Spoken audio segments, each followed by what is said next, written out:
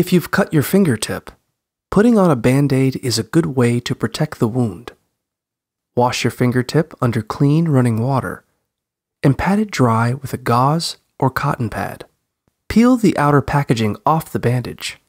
Then use sharp scissors to carefully cut a slit lengthwise down the center of the adhesive strip on each side. This will make it easier to wrap the bandage around your finger. Peel off the plastic strips over the adhesive and cover the wound with the pad at the center of the bandage. Wrap the top two halves of the adhesive strips around your finger so that they cross over each other.